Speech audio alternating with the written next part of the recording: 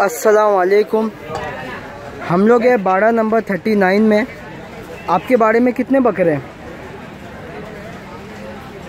बानवे। बानवे। इंग्लिश में क्या बोलेंगे उसको? कितने बकरे हैं?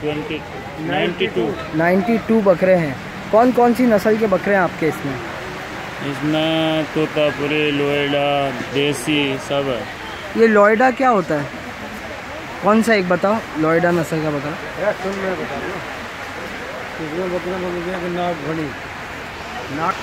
अच्छा।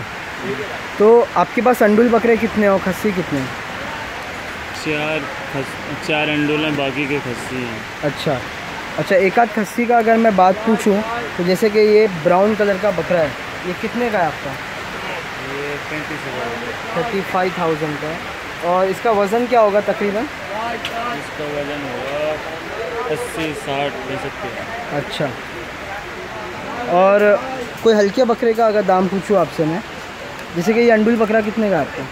तो उन्नीस हज़ार रुपये उन्नीस हज़ार रुपये का और ये जो सफ़ेद वाला बकरा ले जा रहे हैं भाई? ये भी उन्नीस हज़ार। ये भी उन्नीस हज़ार रुपये।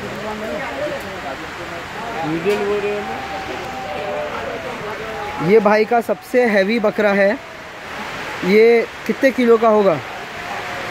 ये होगा एक सौ दस एक सौ किलो। एक सौ दस से एक सौ पंद्रह किलो का बकरा है। इसकी क्या कीमत मांग रहे हैं आप? इसकी पचासी हज़ार। पचासी हज़ार रुपये मांग रहे हैं इसके। और इसके अलावा और कौन सा अच्छा बकरा है आपका?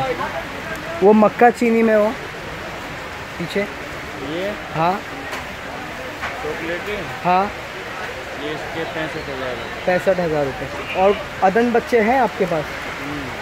ये। ये मेवाती? क्या पैसे मांग रहे हैं आप ये अदन बच्चे के? उन्नीस हज़ार रुपये उन्नीस हज़ार रुपये और ये भी नागफनी ये भी अदम थी कितना मांग रहे हैं इसका? इसके अट्ठारह हज़ार अट्ठारह हज़ार। मतलब लगभग आपके पास अठारह उन्नीस बीस से ऊपर ही बकरे हैं। हाँ।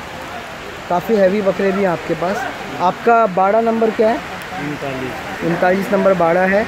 और बकरों को आप खिलाते क्या हो खाने में? ये मक्का है पत्ती है और गेहूँ है चने। अच्छा।